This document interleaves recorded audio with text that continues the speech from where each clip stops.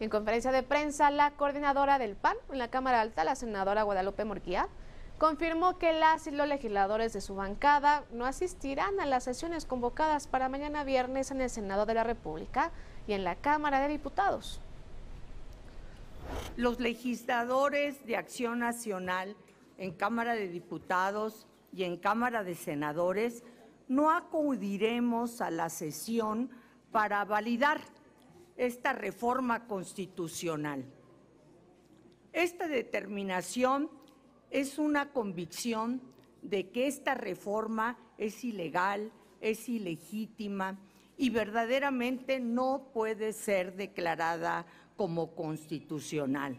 Nunca debió de haber sido admitida a discusión y a votación.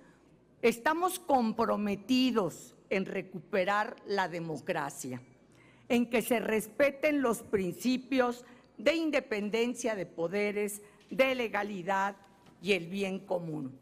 Por eso reitero, no asistiremos a la sesión a la que se nos está convocando mañana porque no podemos, no debemos convalidar una reforma ilegítima, espuria y plagada de deficiencias en el proceso legislativo.